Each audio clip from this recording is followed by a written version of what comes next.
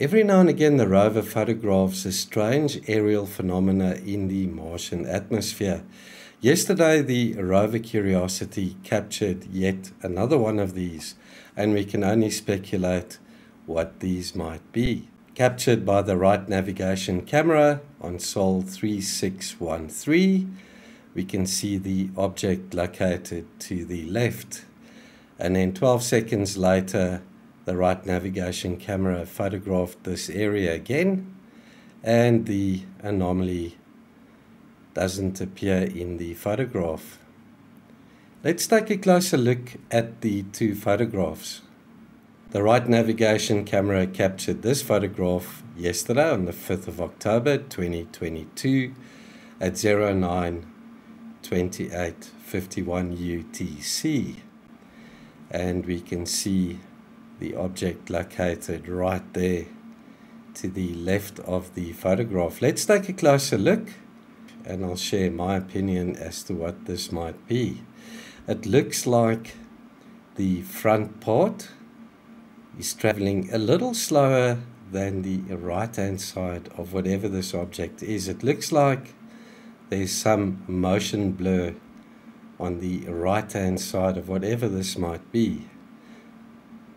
Could this be some type of Martian life in the atmosphere? Something like insects? Who knows, folks? Check that out. Also, could it be an object that's emitting some type of smoke?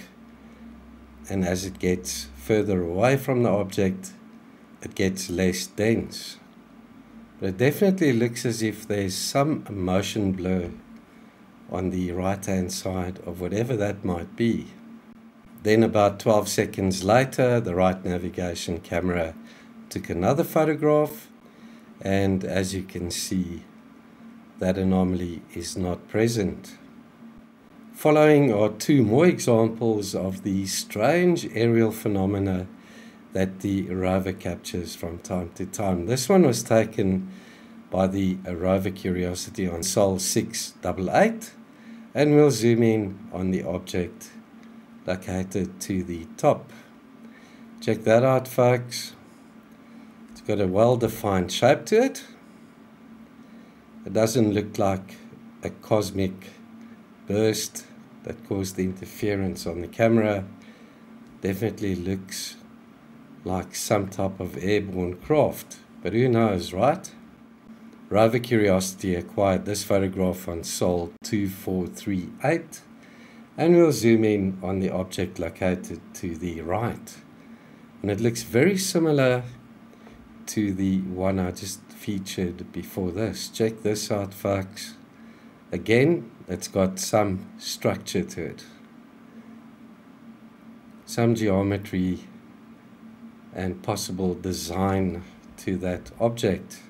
So the question yet again is what are we looking at here, guys? Is this just interference, a dust particle, or are we looking at possible evidence of some type of life or movement of objects in the atmosphere of Mars?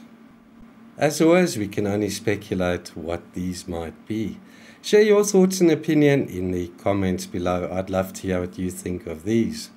Take care, everybody. I'll see you in the next one very soon. Cheers for now.